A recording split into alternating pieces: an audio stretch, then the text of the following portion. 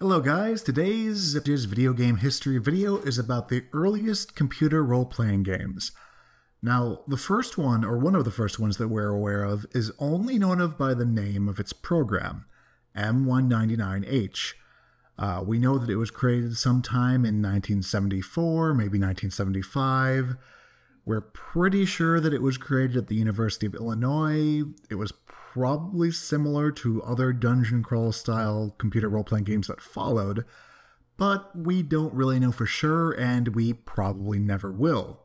As we covered in our video on early mainframe games, these early programs were mostly coded up by bored students on the fly and hidden in lesson folders.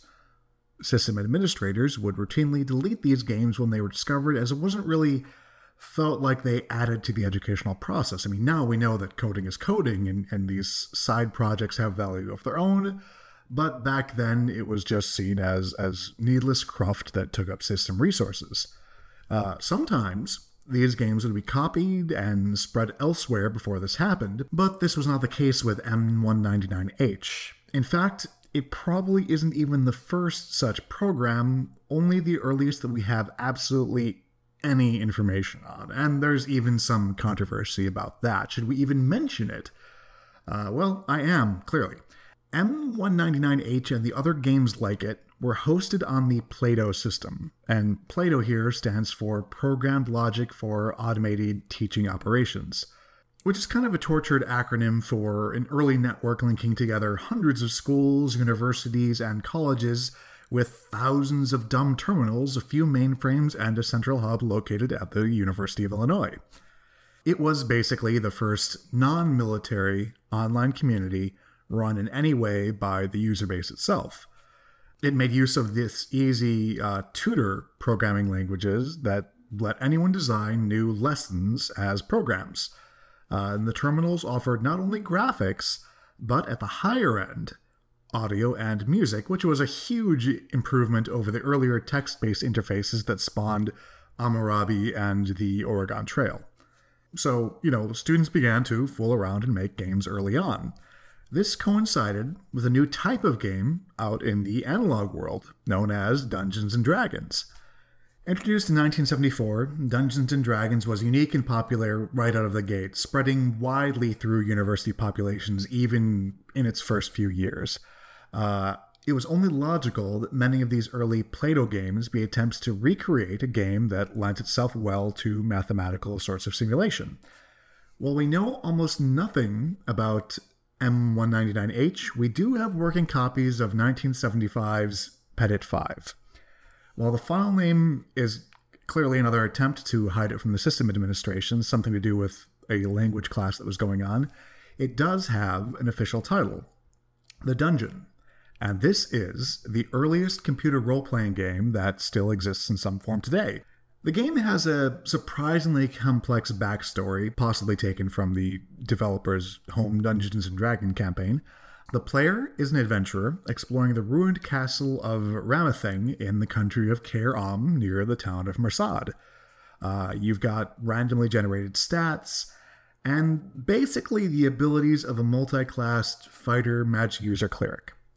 Uh, you explore a 30 by 30 dungeon stocked with 26 different types of creatures, trying to earn 20,000 experience points so that you can retire with honor. If you manage it, if you pull it off, which is not easy to do, uh, you get to enter your name on a Hall of Fame list of everybody on the network who has accomplished the same feat.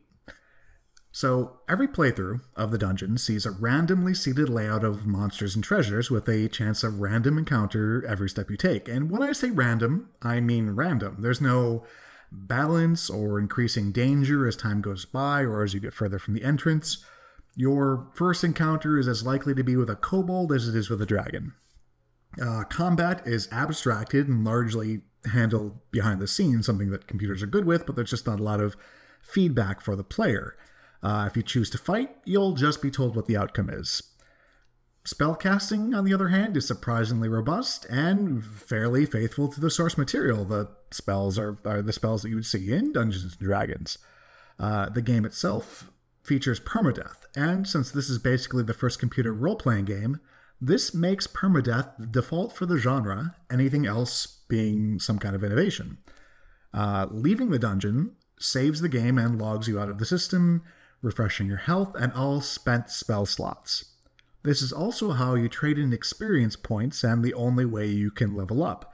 I mean, you also get some experience points from monsters, but true to early Dungeons and Dragons, that's relatively little compared to the amount you get for recovering treasures. As I said, it was eventually discovered, but someone managed to save a copy before it disappeared. The dungeon was very, very popular, and its developer, Rusty Rutherford III, believe it or not, had planned to implement a sequel. He never managed to do it, but another group took up the banner to create Orthanc. But before we get to Orthanc, we're going to discuss D&D. That's the lesson name. The game's actual title is The Game of Dungeons. It was created shortly after the dungeon by Ray Wood and Gary Whisenhunt, with further development by brothers Dirk and Flint Pellet. Uh, it's another top down dungeon crawler that cites the dungeon as inspiration. Both games feature your adventurer traversing a randomly seated dungeon, engaging in pass fail combat, casting spells from slots, and collecting treasure to convert into experience while risking permadeath the whole time. The game of Dungeons is larger and more complex, featuring 20 9x9 levels instead of the earlier game's single 30x31. Uh, there are fewer monsters, barely more than a half dozen, but while monsters were capped at level 6 in the dungeon and players at level 4, in the game of dungeons, they scale upward infinitely. There is less random chance involved in the game of dungeons. Uh, monsters on any given floor will be at most twice the level of the floor itself, with a little bit of adjustment for how much gold you're currently carrying. If you carry a lot, there is theoretically no ceiling on how powerful you the foe you might face, so the game does implement a system to stash or store gold so you can try and come back and pick it up later, thereby mitigating the amount of risk you face at any one time. The goal here is likewise more complex. Up above floor 17 somewhere is a dragon that you need to kill and recover its orb. This makes the Game of Dungeons the first game to feature a boss, predating uh, the arcade game Phoenix by quite some time. The game also features magical items like potions, attribute increasing books, and various kinds of equipment. Development of this game continued on into 1978, adding new features, monsters, and even multiple dungeons to explore. Uh, the third game we're going to talk about in this video is Orthanc. Orthanc is obviously considered to be a continued development of the dungeon named after a tower featured in Lord of the Rings. And, similar to the dungeon, the player takes on the role of a knight entering a dungeon to earn honor. Character creation is brief, but as in the game of Dungeons, it allows you to re roll your stats if you don't like them, We've switched from a spell slot to a spell point system, and players have access to all the spells in the game from the start instead of earning them when you level up. This time, we're exploring a 22 by 24 sized 10 level dungeon, the largest one yet, and one that's randomly reconfigured every 180 real time days. Uh, the screen's UI is also more complex this time around, with various informational frames and even a mini map that reveals as you explore. Unlike in the dungeon, the goal here isn't to reach a set experience point threshold, but to get yourself on the Hall of Fame list, meaning that over time, the game naturally becomes more difficult. While Orthanc doesn't include true multiplayer, users on the network at the same time can encounter each other on the same dungeon levels to talk or fight.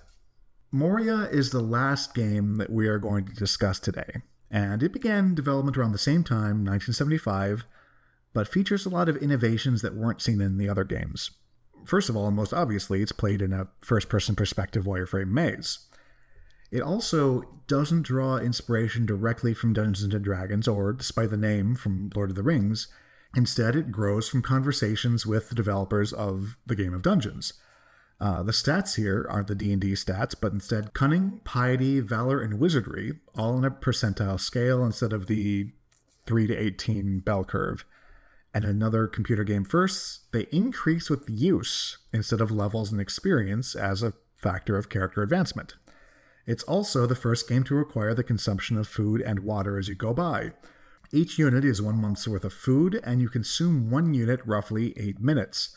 You also age at the same rate, starting at 13 and dying of old age at 100, which would require over 100 hours of play. Uh, so I did not actually test that out myself. Uh, it's the first game to have secret doors discovered by attempting to walk through walls, and it actually implemented multiplayer co op play. Likewise, the dungeon is a single persistent universe you inhabit with the other players. There are several just simply enormous maps. There are town areas, the wilderness area, and four dungeons, each with 60 levels. That's 6 0. The monsters get tougher and their rewards bigger as you descend, with your ultimate goal being to find the Reaper's Ring. Uh, it began when the system was first uploaded uh, on level 1 in a random dungeon and moved to a random place on a deeper level every time it's found. So, after 50 years of play, it's almost certainly somewhere on level 60. So, development of these games, and those that followed, continues up to the present day, with communities focused on internet servers emulating the Plato experience like Cyber 1. These games were foundational for the computer role playing games that followed, so if you're interested in this level of gaming history, give them a try. I'll, I'll put some links in the show notes and you can go check that out.